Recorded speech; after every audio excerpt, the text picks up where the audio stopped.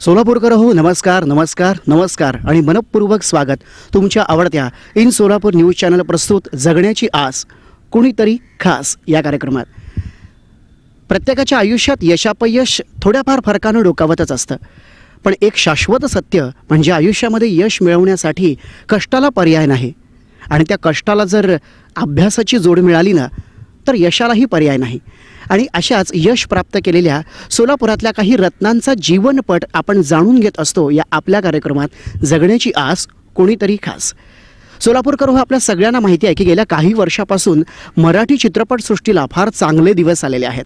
आणि त्यातल्या त्यात आपल्या सोलापूर जिल्ह्यातल्या नाट्यसृष्टीला आणि सोलापूर जिल्ह्यातल्या चित्रपटसृष्टीला सुद्धा गेल्या काही महिन्यांपासून काही दिवसांपासून फार चांगले दिवस आलेत असं म्हणायला काही हरकत नाही. संपूर्ण महाराष्ट्रातल्या सगळ्या मंडळींना बॉलिवूड हा शब्द माहिती आहे. हॉलिवूड हाही शब्द माहिती आहे. सोलापूर जिल्ह्यातल्या कलावंतांनी जर असं चित्रपट क्षेत्रामध्ये आणि नाट्यक्षेत्रामधले आपली कारकिर्दी जर ती अशीच सुरू राहिली तर महाराष्ट्राला आणखी एक शब्दाचं संशोधन करावं लागेल किंवा तो शब्द पाठ होऊन जाईल. तो म्हणजे बॉलिवूड आणि हॉलिवूडबरोबरच सोलापूरचा सॉलिवूड. हा शब्द त्याचं कारण आहे. गेल्या काही दिवसांपासून सोलापुरातल्या नाट्यक्षेत्रातल्या आणि चित्रपट क्षेत्रातल्या कलावंतांनी जे काही मिळवलेलं आहे त्यामुळे सोलापूरचं नाव चित्रपट क्षेत्रात आणि नाट्यक्षेत्रामध्ये केवळ राज्य पातळीवरच ते मर्यादित राहिलेलं नाही तर ते राष्ट्रीय पातळीवर गेलेलं आहे. आपल्या सगळ्यांनाच माहिती आहे की गेल्या काही दिवसापूर्वी एक फार मोठी अनाऊन्समेंट संपूर्ण महाराष्ट्राने ऐकली आणि संपूर्ण महाराष्ट्र अक्षरशः आवाक झाला आणि सोलापुरांमध्ये सोलापूर जिल्ह्यामध्ये त्या बातमीविषयी अक्षरशः आनंदोत्सव साजरा झाला. तो म्हणजे राष्ट्रीय पातळीवर पुरस्कार प्राप्त चित्रपट सोलापूर जिल्ह्यातल्या कलावंतांनी एकत्र येऊन केलेला चित्रपट म्होरक्या ज्या चित्रपटाला राष्ट्रीय पुरस्कार प्राप्त झाला. या चित्रपटाचे लेखक आणि दिग्दर्शक आपल्या सोलापूर जिल्ह्यातलेच आहेत आणि आज आपण ते आपल्याबरोबर आहेत. आपण जाणून घेणार आहोत त्यांचा जीवनपट आणि त्यांचा उलगडता चित्रपट. जगण्याची आस कुणीतरी खास या कार्यक्रमात अमरजी देवकर तुमचं मनपूर्वक स्वागत. आजपर्यंत तुम्ही जे यश मिळवलेलं आहे नाट्यक्षेत्रातलं आणि रिसेंटली सांगायची गोष्ट झाली तर म्होरक्या या चित्रपटामध्ये बद्दल तुम्ही जे उत्तुंग यश मिळवलेलं आहे दिल्लीतमध्ये ही अनाऊन्समेंट झाली आणि सोलापूर जिल्ह्यातल्या कलावंतांनी येऊन एकत्र येऊन बनवलेला मोर म्होरक्या हा हा चित्रपट ज्याला राष्ट्रीय पारितोषिकं मिळालेले आहेत. खरं तर तुमच्या या यशाबद्दल तुमचं आणि तुमच्याबरोबर अविरत काम करणाऱ्या तुमच्या या टीमचं इन सोलापूर न्यूज चॅनलकडून आणि आम्हा समस्त सोलापूरकरांकडून नाट्यप्रेमींकडून चित्रपटप्रेमींकडून मनपूर्वक अभिनंदन आणि पुढच्या कामासाठी इन ॲडव्हान्स मनापासून शुभेच्छा आणि मनपूर्वक स्वागत या कार्यक्रमात. धन्यवाद. नेहमीप्रमाणे मंडळी ह्या मोरकाय ह्या चित्रपटाला राष्ट्रीय पारितोषिक कसं मिळालं हे तर आपण जाणून घेणारच आहोत. पण त्याही आधी त्यांचं बालपण त्यांचं कॉलेज लाईफ आणि या चित्रपट क्षेत्राकडची त्यांची वाटचाल ही आपण जाणून घेणार आहोत. आपल्या बालपणाविषयी काय सांगाल? माझे वडील शिक्षक असल्यामुळे आणि त्यांना बऱ्याच गोष्टी एक सर्वांगीण विकासाच्या सं संदर्भाने ज्या काही माहीत असतात की आपल्या पाल्याला विद्यार्थ्यांना कशा पद्धतीनं असायला हव्यात त्या त्या मला घरातूनच मिळाल्या. म्हणजे लहानपणापासूनच सर्वांगीण विकासासाठी मग सगळ्याच कलाक्षेत्रापासून अभ्यासापासून सगळ्याच गोष्टींमध्ये स्पर्धांमध्ये सहभागी करण्यासाठी प्रोत्साहन दिलं गेलं. जेणेकरून एक चांगला नागरिक विद्यार्थी कलावंत माणूस निर्माण व्हावा ही एक संस्काराची बाजू त्यांनी माझ्याबद्दल त्यांनी रचली आणि तशी मला मुभा दिली. त्यातून माझा विकास होत गेला. मग धोपट मार्गाने जसं आपल्या सगळ्यांच्याच पालकांचं असतं की एक शिक्षक आणि त्याचे पालक पाल्याकडून काय अपेक्षा असेल तर ती म्हणजे डॉक्टर इंजिनियर असं काहीतरी व्हायची अशी धोपट मार्गाची होती. परंतु मलाही वाटत होतं की आपण डॉक्टर व्हावं. अकरावी बारावीपर्यंत तसं सायन्स घेऊन तिकडे सुंदर अभ्यास करून वर्गामध्ये टॉपर राहून सुद्धा मग मला बारावीनंतर स्वतःला जाणवायला लागलं की नाही मला याच्यापेक्षा वेगळं काहीतरी जगण्यासाठी अपेक्षित आहे माध्यम ज्यातून ज्याच्यामधून मला जगल्यासारखं वाटेल. मग मी ते काय आहे याचा शोध घेण्याचा मी प्रयत्न केला. आणि थोडंसं हे ब्रेक करतोय. लहानपणी अशा काही आपल्यामध्ये असं काहीतरी आहे. अशी काही चाहूल लागली होती का? कारण तुमचा जन्म बार्शीतला बरोबर आहे? हो. आणि मग अशा का गोष्टीची काही चाहूल लहान असताना काही लागली होती? मी माझ्या आयुष्यातलं पहिलं जे भाषण केलं. आणि मंचावरती पुढे जाऊन जे काही धाडसानं काहीतरी सर्वांसमोर सादर करायचं असतं ते सादरीकरण म्हणजे मी एक भाषण केलं होतं ते मला वाचता पण येत नव्हतं. परंतु मला गोष्टी खूप छान ऐकायला आणि लोकांना सांगायला जमत होत्या. आणि मग गोष्ट सांगा अशा पद्धतीनं मला वडिलांना म्हटलं मी की मला तुम्ही असं आपण जशी गोष्ट सांगतो तशा पद्धतीनं मला भाषण सांगा. इतर विद्यार्थ्यांना जसं देता लिहून तसं. मग मी करेन. तर त्यांनी मला टिळकांवरती पहिलं भाषण होतं ते मी केलं आणि त्यांनी ते दिल्यानंतर मी गोष्टीसारखं अक्षरज्ञान नसतानाही मी ते लोकांसमोर सादर केलं हो, हो.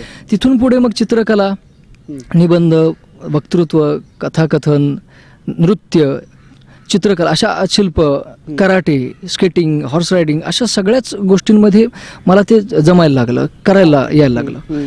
आणि मग हे प्रत्येकच गोष्ट मला जमते हे कळल्यानंतर मग माझा तो माइंडसेट आणि पिंड असं मला वाटायला लागलं की मला हे टॅलेंट हो अष्टावधानी आणि ऑलराऊंडर अशा पद्धतीनं काहीतरी मला ते ऐकायला मिळालं आणि मग जाणवलं की हे आपल्यात काहीतरी सुप्त गोष्टी आहेत त्या अशा विकसित होत आहेत आणि मग त्यातून एक कलावंतासाठी अपेक्षित सगळ्याच गोष्टी माझ्यामध्ये बेसिकली आहेत असं घरच्यांना मलाही जाणवलं. म्हणून मग मी कथाकथन करायचो खास करून आणि एकपात्री मिमिक्री करायचो. आम्हाला पण माहिती आहे की मिमिक्री स्पर्धेच्या माध्यमातून मिमिक्री कलेच्या बाबतीत तसं तर आपण यापूर्वी पथनाट्य लघुनाटिका एकांकिका नाटक या बाबतीत तुमचा अनुभव फार मोठा आहे. फार कमी वयात खूप मोठा अनुभव तुम्हाला मिळाला आहे सोलापूरकर तुमच्या माहितीसाठी सांगतो अमर देवकर दादांना नकला या स्पर्धेच्या मध्ये सोलापूर विद्यापीठाच्या माध्यमातून आपण राष्ट्रीय स्तरावर गेलात. नकला या स्पर्धेमध्ये सलग तीन ते चार वर्ष नकला या स्पर्धा प्रकारामध्ये या कला प्रकारामध्ये अमरदादांना राष्ट्रीय पारितोषिक आहे. मला वाटतं त्याचाही उपयोग तुम्हाला तुमच्या कारकिर्दीसाठी. नक्कीच. एक नकलाकार हा काय असतो की आपण जन्मल्यापासून प्रत्येक जण नक्कल करत असतो कुणाची तरी. आजोबा कशी करतात आजी कशी करते काका कसे करतात तो कुकू कसं करतं हे इथून आपल्या आयुष्यातलं अनुकरण आणि एक प्रत्येकात नकलाकार असतो. आणि त्यातून कदाचित न कलाकारापासून कलाकार तयार होतो. बात है क्या बात है. वा. तर या तसं म्हणता येत नाही की नकलाकार म्हणजे कलाकार नसतो असं काही परंतु आपण दुसऱ्याची काहीतरी कॉपी करत असतो. मग अभिनेता एक कलावंत कसा घडतो तर त्यासाठी मला हे नकलाकार हो- आणि त्या प्रत्येक पात्राच्या जागी जाऊन कशा पद्धतीनं आपण त्याचा त्याची अनुभूती त्याच्या जागी जाऊन ते सहानुभूत होणं हे एका नकला करण्याच्या उद्देशातूनच समजायला लागतो माणूस आणि आसपासचं जगणं. आपण आपली जागा सोडतो आणि दुसऱ्याच्या जागी जातो. यातून मला मग आसपासची पात्र आणि अभिनेता म्हणून संपन्न व्हायला खूप वाव मिळाला आणि मग मी पुढे नकलांचा अभ्यास बंद केला परंतु त्याचा मला एखादं पात्र करण्यासाठी त्याचं कशा पद्धतीचे अंगरचना बॉडी लँग्वेज त्याचं वाचिक कशा पद्धतीनं असेल त्याची थॉट प्रोसेस कशी असेल ह्या लकबी आणि हे आसपासचं सगळं बघून तेच छान पद्धतीनं एक कॉम्बिनेशन करून इमिट करणं हे एक जे अभिनेत्याचं काम असतं. जशा पद्धतीनं त्या व्यक्तीचं पात्राचं हार्डवेअर तर असलंच पाहिजे परंतु सॉफ्टवेअर पण असलं पाहिजे. आणि ते इन्स्टॉल करून आपण त्याचा अभिनयाला न्याय देणं गरजेचं असतं. हे मला तिथून त्या नकलेमधून उगम झाला या गोष्टींचा आणि चांगला अभिनेता म्हणून आपण संपन्न होण्यासाठी जे लागतं ते मिळायला लागलं. वा. म्हणजे त्यांच्या या कलेचा मला वाटतं मी तुम्हाला यापूर्वी एकांकिका करताना पाहिलेलं आहे. एकांकिकेतले तुमचे काही रोल मला वाटतं अक्षरशः त्यावेळेला आमच्यासुद्धा अंगावर काटे आणणारे असे तुमचे रोल झाले होते. तुमचा तुमच्या नकला पाहिल्यात तुमचा अभिनय पाहिला आहे शिवाजी महाराजांसारख्या अत्यंत एका मोठ्या ऐतिहासिक प्रयोगामध्ये तुम्ही केलेला शिवाजी महाराजांचा रोल असे रोल पाहिलेत. आणि इतक्या वेगवेगळ्या प्रकारचे कॅरेक्टर्स तुम्ही अभिनय केलेले आहेत. त्याच्याबद्दल खरंच तुमच्या मनापासून अभिनंदन. या संदर्भाने मला एक सांगावंसं वाटतं की एक भिन्न आणि वेगवेगळ्या जातकुळीचे अभिन पात्र अभिनीत करणं एका अभिनेत्याचं स्वप्न असतं आणि ती त्याची रेंज त्या तो डेव्हलप करत असतो. लहानपणी मला विचारलं जायचं की तुला काय व्हायचं? आपण नेहमी प्रत्येकाला प्रश्न विचारतो आणि माझ्या अ, या आपल्या एन टी व्हीच्या ज्या श्रो प्रेक्षकांनाही मला त्या निमित्तानं सांगावंसं वाटतं की आपण पालक म्हणून किंवा आपल्या स लहान मुलांना सहज विचारतो की तुला काय व्हायचं पुढे? तर कोणीतरी म्हणतो engineer doctor I P S किंवा पायलट वगैरे. मी दररोज वेगळं सांगायचो. मला असं विचारलं की मी दररोज वेगळं सांगायचो. आणि त्या मल्टी टॅलेंट असल्यामुळे असं तसं होत असेल कदाचित. मग कधी डॉक्टर होतोय कधी पी एस आय व्हायचे कधी गवंडी व्हायचे कधी इंजिनियर व्हायचे कधी डाकू व्हायचे कधी नेता व्हायचे कधी अभिनेता व्हायचे डाकू आणि गवंडी? हो. मी ते चित्रपटांमधून बघितलेलं असेल आसपासच्या लोकांमधून बघितलं कधी कंडक्टर व्हायचं ते कंडक्टर कशा पद्धतीने करतात? हे हे. हे त्या व्यक्तीचं जगणं मला जगायचं आहे ही इच्छा मला जाणवायला लागली माझी जागा सोडल्यामुळं. आणि कदाचित मी आज या अभिनेत्या अभिनय क्षेत्रात आल्यामुळे कदाचित मला हे सगळेच रोल करायला मिळतात आणि मी सगळाच आहे सगळं काही आहे. म्हणून मग एका तृतीयपंथ्यापासून ते महापुरुष छत्रपती शिवाजीराजांपर्यंतचा रोल करता येणं आणि करण्याची तेवढी कॅपॅसिटी आपण डेव्हलप करणं. एक अभिनेता म्हणून मला बऱ्यापैकी जमलं थोडंफार आत्तापर्यंत असं मला वाटतं आणि आणखी खूप सारे त्या क्षितिजावरची चॅलेंजेस माझ्यासाठी आहेतच. क्या बात आहे सोलापूरकर हो तुमच्या लक्षात आलेलं आहे की मोरक्या चित्रपटाचे लेखक आणि दिग्दर्शक या चित्रपटाला राष्ट्रीय पातळीवरचा पुरस्कार मिळाला. ही गोष्ट खरी आहे पण त्याच्या आधी नाट्य नाट्यक्षेत्रातल्या त्यांचा पाया नाट्यक्षेत्रातला त्यांचा अनुभव हा तितकाच वाखाणण्याजोगा होतो. म्हणजे नाट्यक्षेत्रातला अनुभव चित्रपट क्षेत्रासाठी नक्कीच कामी येतो. अर्थातच कारण ही नाटक ही एक सर्वांगीण आणि परिपूर्ण अशी कला आहे ज्याच्यामध्ये सर्वच कलांच्या नद्या ज्या समुद्रास जाऊन मिळतात. त्याला आपण नाटक म्हणूया. वा वा. नाट्य संगीत नृत्य चित्र शिल्प आणि स- सगळ्याच प्रकारच्या सगळ्याच कला तिकडे असतात. ही खूप पाच एक हजार वर्षांपूर्वीपासून चालत आलेली परंपरा असलेला हा नाट्य अ, शास्त्र आहे आपल्या देशामध्ये.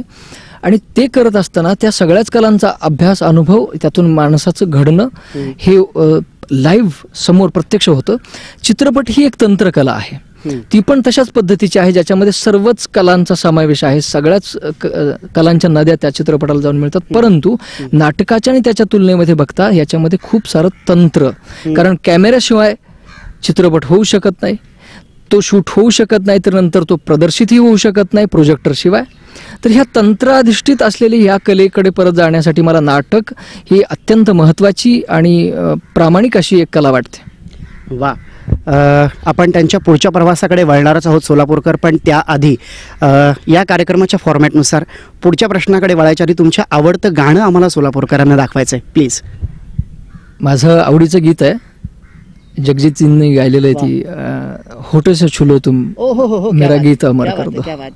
क्या बात आहे गझल म्हणजे गच्च ओल्या भावनांची पालखी. त्यात जगजित सिंगांची गझल म्हणजे क्या बात आहे सोने पेसवाल ऐकूयात होठो से छूलो तुम, मेरा गीत अमर कर दो. होठों से छू लो तुम, मेरा गीत अमर कर दो.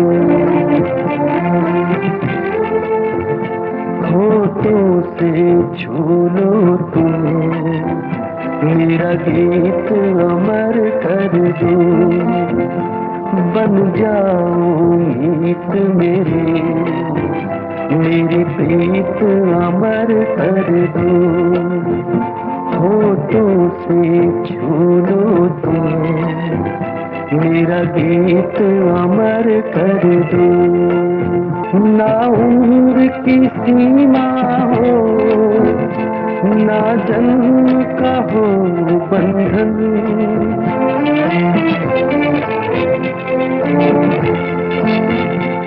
ना उम्र की सीमा हो, ना जन्म का हो बंधन। जब प्यार करे कोई तो देखे केवल मन। नई रीत चला कर दे.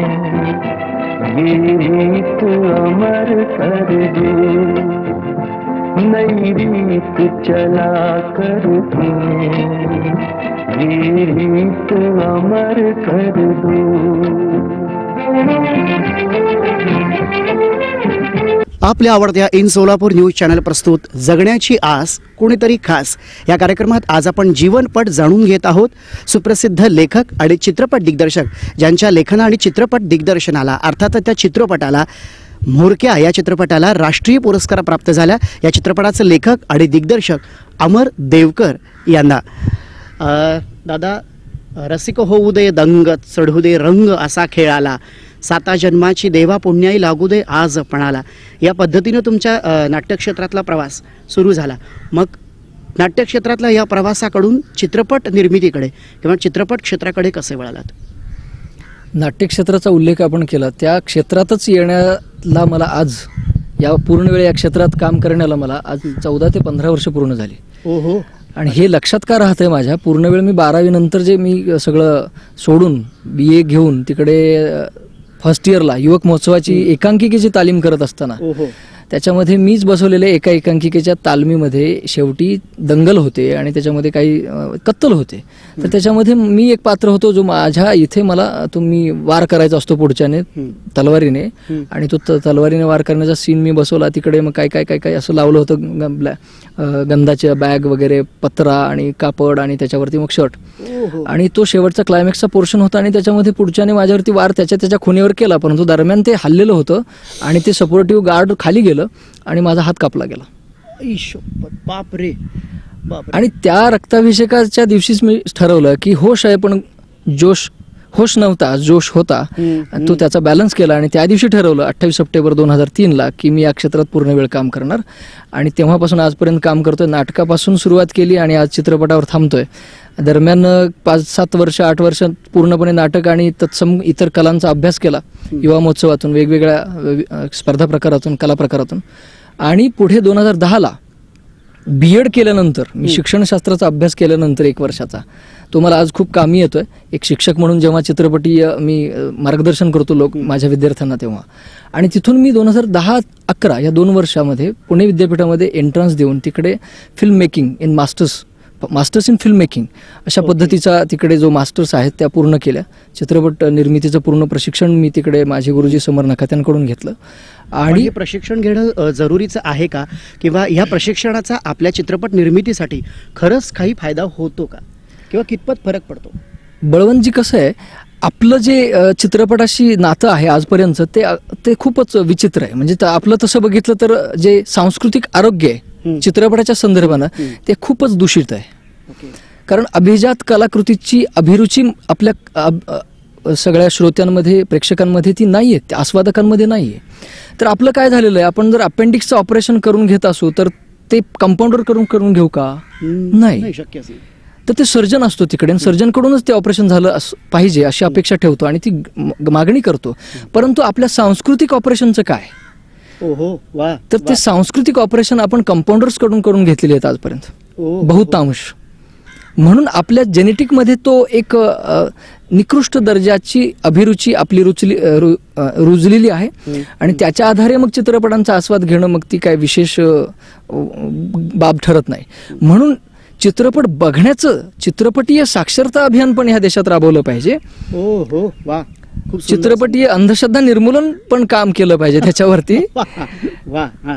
आणि त्याचबरोबर चि त्यानंतरची गोष्ट आहे की चित्रपट बघणे आणि बघणे यातला फरक काय तो समजून घेऊन चित्रपट निर्माण करण्याच्या दिशेने आपण वाटचाल करणे.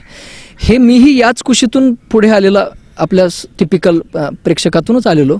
परंतु मला तिकडे शिक्षणानं ते समजायला लागलं की अभिजात कलाकृती काय आहे.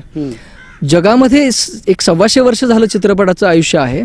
पाच हजार वर्षांपूर्वीपासूनचं नाटक आहे. मग एवढं बाळ असलेले या चित्रपटामध्ये सुद्धा अतिशय उंचीचं काम केलेलं आहे आणि आपण त्यात योगदान काय करणार आहोत.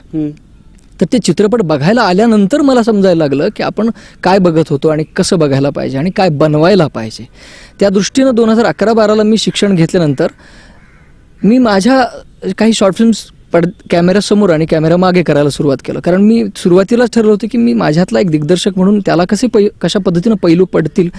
तर एका चांगल्या दिग्दर्शकाला स्वतःला विकसित करून घेण्यासाठी या तंत्रकलेचा अभ्यास करण्यासाठी त्या तंत्र तांत्रिक गोष्टींचा अभ्यास ज्ञान घेण्यासाठी जे युरोपातून आपल्याकडे आलेलं आहे तशाच त्यांच्या त्या व्याख्या आणि संज्ञांना समजून घेऊन त्याच्या कामांना समजून घेऊन ते कसं आपल्याला ह्या दृकश्राव्य माध्यमातून व्यक्त होता येईल हे बघायचं होतं.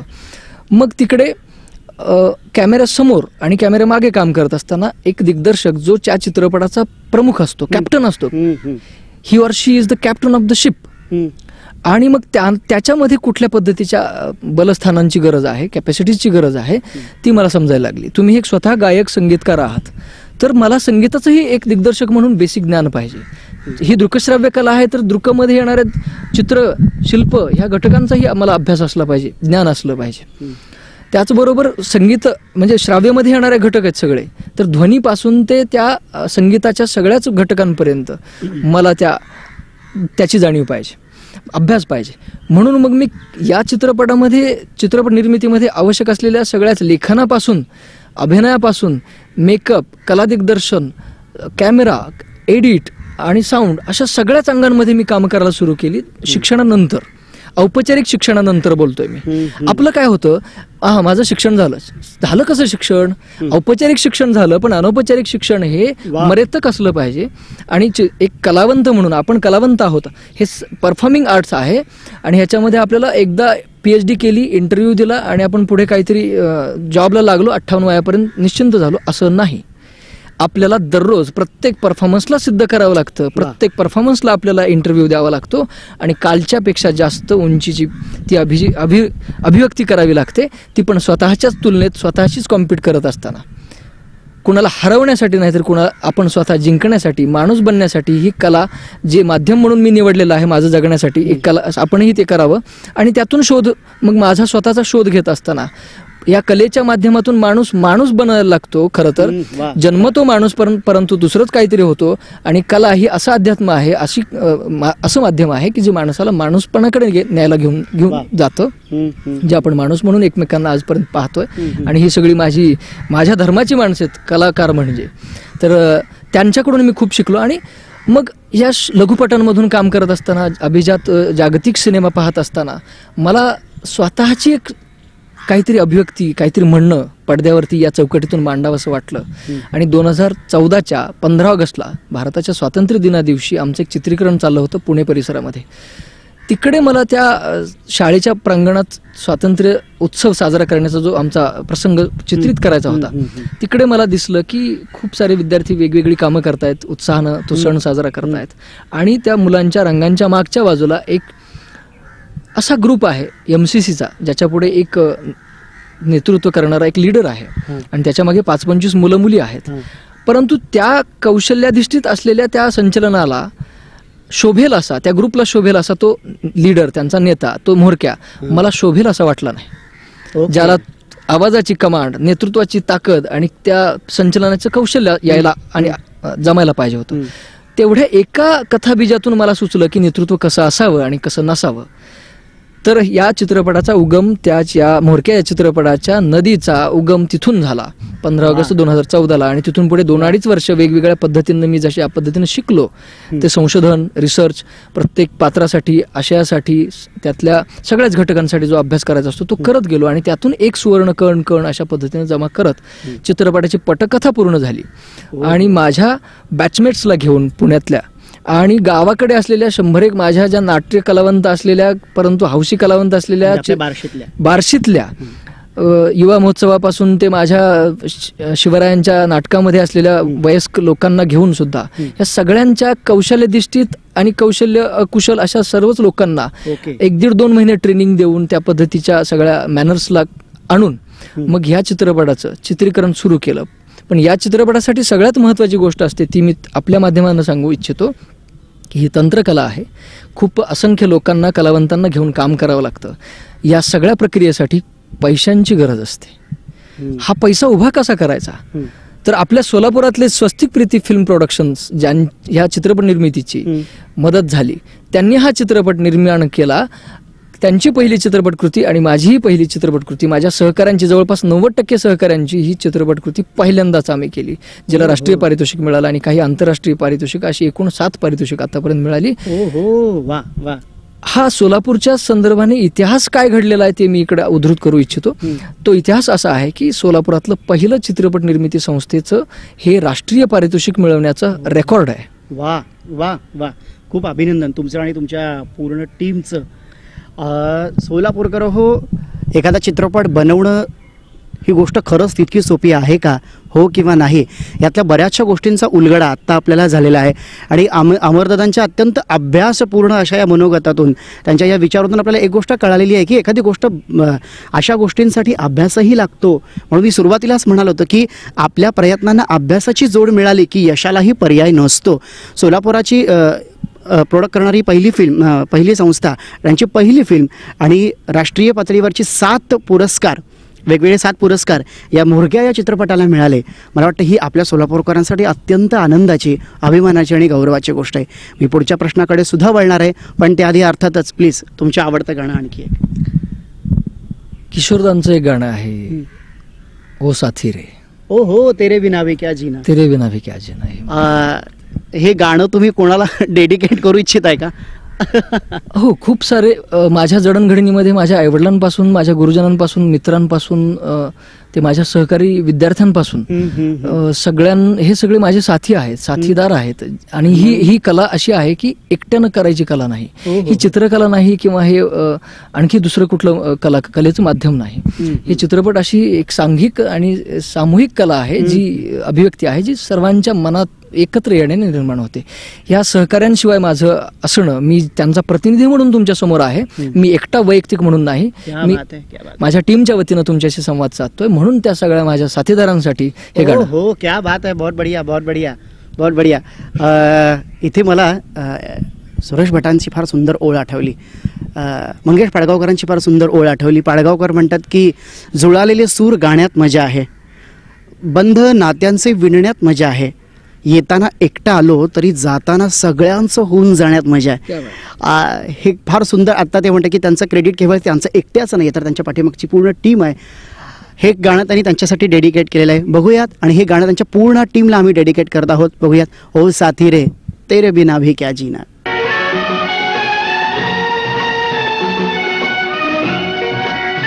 ओ साथी रे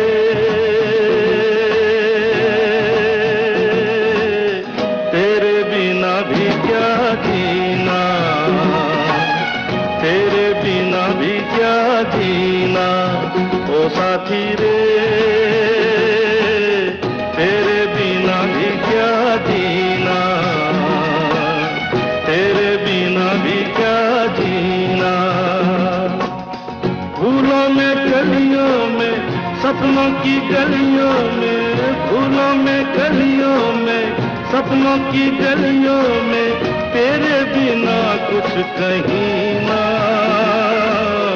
तेरे बिना भी क्या जीना ओ साथी रे।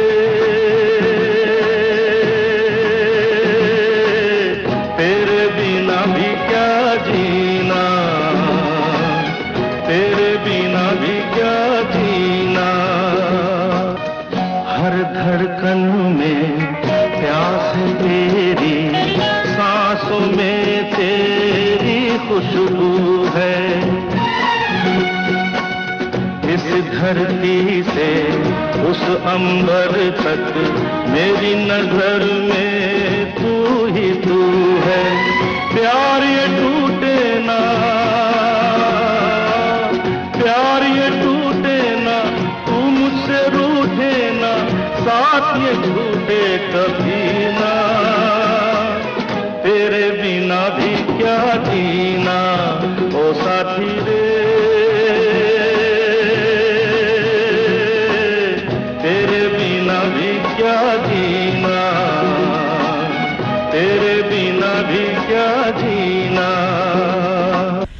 सोलापूर न्यूज चॅनल प्रस्तुत जगण्याची आस कुणीतरी खास. या कार्यक्रमात सोलापूरकर हो आज आपण संवाद साधत आहोत. म्होरक्या या राष्ट्रीय पुरस्कार प्राप्त चित्रपटाचे लेखक आणि दिग्दर्शक अमर देवकर यांच्याशी. त्यांचा जीवनपट आणि चित्रपट क्षेत्रातला प्रवास आपण सगळेजण जाणून घेत आहोत. मात्र सोलापूरकर हो मी यानंतर जो प्रश्न विचारणार आहे तो प्रश्न नाट्यक्षेत्रात आणि चित्रपट क्षेत्रात किंवा लघुपट क्षेत्रामध्ये काम करू इच्छिणाऱ्या करिअर करू इच्छिणाऱ्या प्रत्येकासाठी अत्यंत महत्त्वाचा असा प्रश्न मी तुमच्या वतीनं अमरदादांना विचारणार आहे. अमरदादा लघुपट क्षेत्र असेल डॉक्युमेंटरी फिल्म असेल किंवा शॉर्ट फिल्म असेल म्हणजे लत्ता जसं की मी लघुपट म्हणालो चित्रपट क्षेत्र असेल किंवा नाट्य क्षेत्र असेल या क्षेत्रामध्ये काम करू इच्छिणाऱ्या सॉलिवूडच्या म्हणजे आपल्या सोलापुरातील क्षेत्र अ, नवोदित कलावंतांना किंवा कलावंतांना आपण प्लीज काय सांगू शकता? एकतर आपण अ, नाट्य कलावंत म्हणून हौशी नाट्य कलावंत असं एक म्हणतो आणि परत व्यावसायिक नाट्य कलावंत किंवा एक रोजीरोटी आपली या कलेवरती चालते म्हणून आपण त्याला करिअर म्हणून निवडतो. पण आता शॉर्ट फिल्म्स बनवले जात आहेत त्याच्यामध्ये त्याला आपण हौशी शॉर्ट फिल्म मेकर असं म्हणता येत नाही किंवा चित्रपटकर्ते असं म्हणता येत नाही. तसं बघता. पण ते हाऊस म्हणूनच करतायत ते काय करिअर म्हणून करत नाहीत. परंतु करिअर म्हणून या क्षेत्राकडे पाहू इच्छिणाऱ्या आणि आयुष्य यात घालवू इच्छिणाऱ्या माझ्या सहकारी मित्रांसाठी मी काही दोन अनुभवाचे बोल सांगू इच्छितो. की जसं की आपण सोलापूर जिल्ह्याचा संदर्भ आला की नागराज मंजुळे आणि मकरंद माने आणि इतरही कलावंत आहेत जे उ- उच्च स्तरावर गेले जे अग अगदीच सामान्य स्तरातून आलेले आहेत. त्यांच्याकडे बघून एक आदर्श म्हणून त्यांच्याकडे बघून ही नवी पिढी तरुण सगळी आणि यात उतरत आहेत परंतु असं नाही की ते न- अशिक्षित अकुशल असे असल्यामुळे आणि आहेत आणि म्हणून ते एवढ्या उंचीला गेले तरी पण उंचीला गेले. ते तळागाळातून आले परंतु त्यांनी त्या गोष्टीसाठी खूप मेहनत घेतलेली आहे. हो हो. एकतर हे शास्त्र आहे चित्रपट शास्त्र आहे त्याचा अभ्यास करणं गरजेचं आहे. मग ते आधी शास्त्र आलं की आधी चित्रपट आला हा मुद्दा वादाचा आहे. आधी चित्रपटच आला. फाळक्यांनी चित्रपट तयार केला आणि नंतर मग त्यातलं विकसित गेलं होत गेलं मग बोलपट आले वगैरे वगैरे वगैरे. परंतु ह्याचं शिक्षण घेतल्यानंतर आपल्याला आणखी छान पद्धतीनं विकसित होता येईल आणि व्यक्त होता येईल. सिनेमा बघणं आणि बघणं यातला फरक कळायला लागेल. म्हणून मला वाटतं की ह्या क्षेत्रात करिअर करू इच्छिणाऱ्या सगळ्याच मित्रांनी माझ्या यातलं एक ते दोन वर्षांचं शिक्षण कंपल्सरी घ्यावं. छानपैकी घ्यावं आणि मग एक फोटो कसा काढावा इथून सुरुवात करावी. कारण या आत्ता चालू असलेल्या प्रत्येक सेकंदाला आपण इकडे जवळपास पंचवीस फ्रेम्स जात आहेत. पंचवीस चित्र जात आहेत. आता तुम्ही बघता इकडे. आणि या प्रत्येक फ्रेमचा तुम्हाला हिशोब द्यावा लागतो एक चित्रपट करता म्हणून. ती एक अक्षर ती एक शब्द एक वाक्य एक पॅसेज एक धडा एक सिक्वेन्स म्हणून इथे तुमच्यासमोर येत असतो. हा आत्ताचा एपिसोड सुद्धा. त्याची रचना एक चित्रपटी एकशे वीस मिनिटाची रचना करत असताना दहा मिनिटांची करत असताना त्याच्या प्रत्येक इमेजचा हिशोब द्यावा लागतो. आणि ती इमेज ही आपलं अभिव्यक्त करण्यासाठीच एक माध्यम असतं. ते युनिट असतं ह्या माध्यमाचं. त्याचा अभ्यास करता आला पाहिजे. मग तुम्ही प्र पहिल्यांदा फोटो एक फोटो काढण्यापासून सुरुवात करा. त्या फोटोचा विषय आपल्याकडे युवा महोत्सव किंवा आणखी काही स्पर्धा असतात हो, ज्याच्यामध्ये फोटोग्राफी असतो. फोटोमधून आपला विषय आणि म्हणणं मांडायचं असतं. ते एका फोटोतून जर आपण छान मांडू लागलो शकलो तर आपल्या एका एकूण एक तासामध्ये असलेल्या लाखो इमेजेसमधून सुद्धा आपण सुंदररित्या मांडू शकू. आणि प्रत्येक इमेज अशी सुवर्ण कणासारखी बनवून मग ते पूर्ण चित्रपटच असा बारामाशी प्युअर बनवून टाकायचा. ओ हो वा वा. म्हणजे थोडक्यात काय तर या क्षेत्रामध्ये वळण्याच्या आधी याचं रीतसर आपण सगळ्यांनी प्रशिक्षण घ्यावं त्याचा अभ्यास घ्यावा. अभ्यास करावा असं वाटतंय. बहुत बढिया. मला वाटतं सोलापूरकर हो या छोट्याशा उत्तरातून बराच मोठा आशय अमरदादांनी सोलापूरकरांसाठी दिलेला आहे. पुढच्या प्रश्नाकडे वळायच्या आधी अर्थातच तुमच्या आवडतं गाणं प्लीज नुकतेच अरुण दाते गेले त्यांचं एक गाणं आहे शुक्रतारा हो, मंदावारा. येस ते मला आवडेल ऐकायला आणि माझ्या निमित्तानं तुम्हालाही आवडेल आवडेल नक्कीच ऐकायला ते. वा महाराष्ट्राच्या किंवा मराठी संगीतसृष्टीतला शुक्रतारा म्हणजे अरुणजी दाते. ऐकूयात अरुणजी दाते यांनी गायलेलं त्यांना श्रद्धांजलीपर हे गाणं शुक्रतारा मंदवारा. शुक्रतारा मंदवारा चांदणी पाण्यातून. शुक्रतारा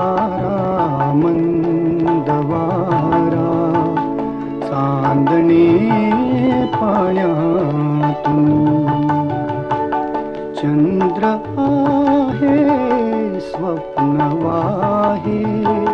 धुंदया गाण्यातून आज तू डोळ्यात माझ्या आज तू डोळ्यात माझ्या.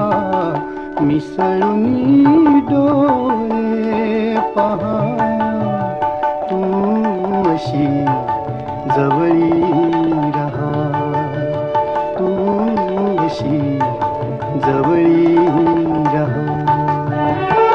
जगण्याची आस कोणीतरी खास या कार्यक्रमात आज आपण संवाद साधत आहोत. मोरक्या या राष्ट्रीय पुरस्कार प्राप्त चित्रपटाचे लेखक आणि दिग्दर्शक श्रीयुत अमर देवकर यांच्याशी आपण संवाद साधतोय. सोलापूरकर हो या कार्यक्रमातला अत्यंत महत्त्वाचा असा प्रश्न मी आता त्यांना विचारणार आहे. पण त्या प्रश्नाकडे विचार त्या प्रश्नाकडे वळण्याआधी त्यांच्या या चित्रपट निर्मितीमध्ये त्यांचे काही टीम मेंबर्स त्यांच्या त्यांच्या टीममधले काही मंडळी की ज्यांनी त्यांच्या या चित्रपट निर्मितीला अत्यंत महत्त्वाचं योगदान असं दिलेलं आहे. त्या त्यांचे त्यांच्या चित्रपट निर्मितीच्या क्षेत्रातील त्यांचे काही टीम मेंबरसुद्धा आज सुदैवाने आपल्याबरोबर आहेत. तर आपण आधी त्यांच्याशी संवाद साधणार आहोत आणि त्यानंतर वळणार आहोत या कार्यक्रमातल्या मुख्य प्रश्नाकडे. मी शैलेश कुरापाटी मोरक्या चित्रपटासाठी लाईन प्रोड्युसरचं काम केलं. वा बहुत बढिया. अ, मी नमस्कार मी प्रदीप पाटोळे. मी मोरक्या चित्रपटासाठी सहाय्यक दिग्दर्शक म्हणून काम केलेलं आहे. वा मोरक्या चित्रपटासाठी सहाय्यक सहाय्यक दिग्दर्शक. दिग्दर्शक. बहुत बढिया. अ, नमस्कार मी मनसुख आनंद आणि मी पण मोरक्या चित्रपटासाठी सहाय्यक दिग्दर्शक म्हणून काम केलं. आणि इथूनच अ, खरी सुरुवात अ, चित्रपटात किंवा चित्रपट सृष्टीकडे येण्याची मोरक्या चित्रपटापासून झाली असं म्हणायला हरकत नाही. त्याच्या अगोदर सो अमर सर अमर सरांबरोबर किंवा आमच्या टीमबरोबर सुरुवात केली होती कामाला पण चित्रपटसृष्टीत मराठी चित्रपटसृष्टीत मोरक्यापासून पदार्पण झालं आमचं. आणि खूप भारी वाटतं आम्हाला. पदार्पण झालं आणि एक कसोटी मॅच असावी. आणि त्या कसोटी मॅचमध्ये काही गडबड नसताना सुद्धा पहिल्याच बॉलला कोणीतरी सिक्सर ठोकावा. अशी सुरुवात झाली. याला दमदार पदार्पण वाटतात. अशी या सगळी टीमची एंट्रीज आहे. आपण सगळेजण सोलापूरकर बघत आहात. ही सगळी यंग टीम आहे.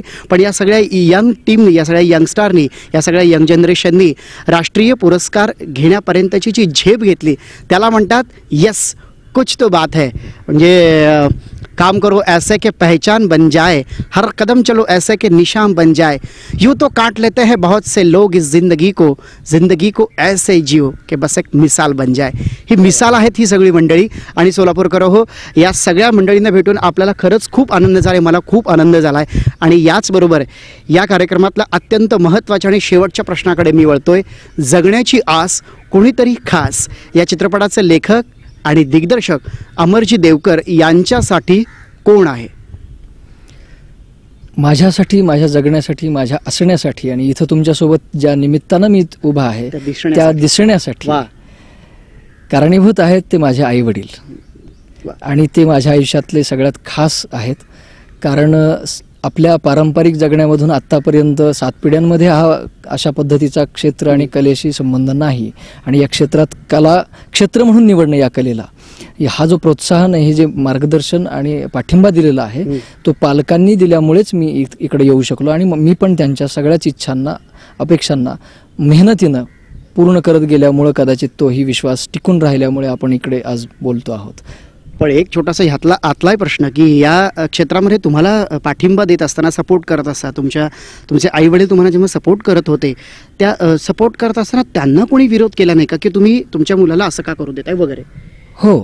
विरोध येतात. आपल्या आसपास अशा पद्धतीच्या नकारात्मक गोष्टी आणि विचार असतात की जे चौकट मोडू देत नाहीत. परंतु या चौकटीसाठी काम करण्याचं जेव्हा मी निवडलं तेव्हा माझ्या आईवडिलांनी त्या चौकटी बाहेर जाण्यासाठी मला पूर्ण पाठिंबा दिला. त्यांनी ज्या लोकांनी ज्या सहकाऱ्यांनी काळजीने असेल किंवा नकारात्मक भावनेने असेल त्यांना त्यांनी माझ्या आईवडिलांनी ठामपणे उत्तरं दिली की आमचा विश्वास माझ्या मुलावरती आहे त्याच्या कामावरती मेहनतीवरती आणि त्याच्या टॅलेंटवरती आहे. त्यामुळे तुमच्यापेक्षा जास्त आम्ही त्याला ओळखतो. वा वा वा. आत्ता तुम्ही बोलत असताना मला एक ओळी आठवल्या. चांगल्या रस्त्यावर गतिरोधक आणि चांगल्या माणसांच्या आयुष्यात विरोधक हे असतातच. रादर त्याशिवाय ते आयुष्य जगण्याला मजा येईल इथे एक गोष्ट मी माझा अनुभव आणि विचार सांगू इच्छितो की ध्येय मोठं असलं की संकट छोटी होतात. क्या बात है क्या बात है क्या बात है. बहुत बढ़िया. जगण्याची आज कोणीतरी खास या कार्यक्रमामध्ये आज आपण खूप खास माणसांना भेटलो आहेत खूप खास कलावंतांना या ठिकाणी भेटलेलो आहेत आणि त्यांच्या आयुष्यात खास कोण आहे हेही आपण जाणून घेतलेलं आहे.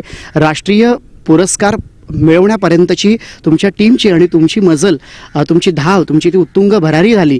आणि तुमच्या एवढ्या सगळ्या या प्रवासामध्ये तुमच्या आई वडीलच तुम्हाला तुमच्या आयुष्यामध्ये खूप महत्त्वाचे वाटतात. याच्यातूनच एक म्हणजे काला म्हण काय म्हणतात की एखादा मोठा कलावंत होण्यासाठी तो आधी माणूस म्हणून मोठा होणं फार गरजेचं असतं. मला वाटतं याचं उत्तम उदाहरण म्हणून तुम्ही आहात. तुमच्या सगळ्या टीमला या सगळ्या टीमला पुढच्या कारकिर्दीसाठी पुढच्या निर्मितीसाठी अगदी मनापासून शुभेच्छा देतो. आणि तुमच्या टीमनी खास या एपिसोडसाठी आज तुम्ही इथं सगळेजण येऊन वेळ दिलात. त्याबद्दल मी तुमचा मनपूर्वक आभारी आहे. आणि तुमच्या पुढच्या कारकिर्दीसाठी इन सोलापूर न्यूज चॅनलकडून सगळ्या चित्रपटप्रेमींकडून सोलापूर नाट्यसृष्टीतल्या सगळ्या कलावंतांकडून मी मनपूर्वक शुभेच्छा देतो आणि हा एपिसोड इथंच थांबतो. पुन्हा भेटूया आणखी अशाच एका नव्या कलावंतांबरोबर पुढच्या भागात ज्याचं नाव आहे इन सोलापूर न्यूज चॅनल प्रस्तुत जगण्याची आस कोणीतरी खास.